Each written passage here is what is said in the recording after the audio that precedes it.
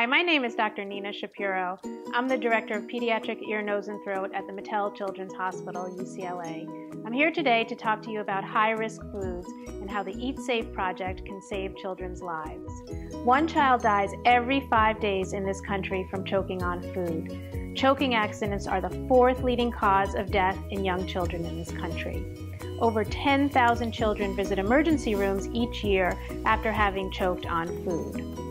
Unlike toys, foods are not labeled for safety, so most parents don't know which foods are unsafe for their children. As a doctor who treats these kids, I can tell you that every parent who's had a child who's choked on food has told me the same thing, and that is that had I known that this food was not safe, I wouldn't have given it to my child.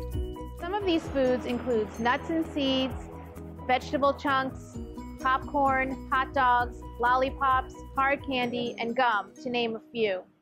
Here's where you come in. We need to create educational materials for parents, caregivers, preschools, and daycare centers, giving them information about high-risk foods for choking. The Eat Safe project is going to create these educational materials, both print and web-based, to provide for these families. We'll start with 10,000 families and work from there. The Eat Safe program needs your support. Any amount that you can donate will go directly towards creation of these educational materials. If we can save one child's life, if we can prevent one emergency room visit, then we're moving in the right direction. We'll be trending on Twitter at hashtag EatSafe, so we'll see you there, and thanks for your support.